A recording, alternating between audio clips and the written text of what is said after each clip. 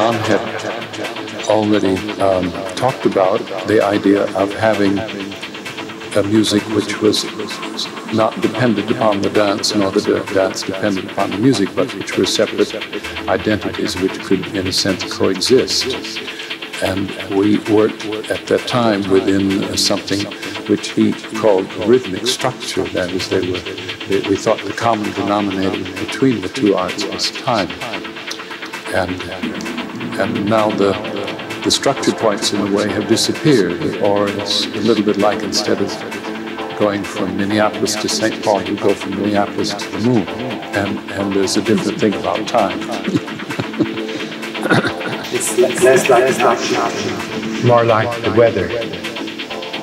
Because in, in an object, you can tell where the boundaries are.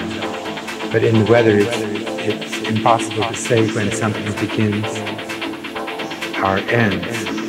We, we hope that the weather will continue, and we trust that our, uh, our way of relating dance and music will also continue. It's a,